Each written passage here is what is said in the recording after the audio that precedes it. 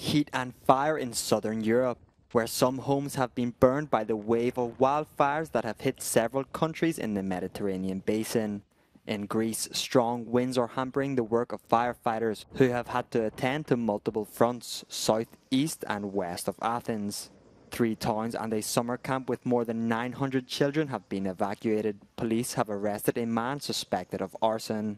In Spain, the fire that broke out on Saturday on the island of La Palma is gradually weakening, although it has still several active fronts. Authorities estimate that some 3,500 hectares and 20 buildings have been burnt. Most of the 4,000 people who were evacuated on Saturday have already returned to their homes.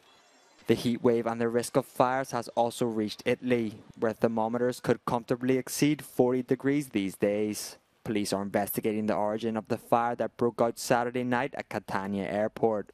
Authorities have suspended all flights until Wednesday.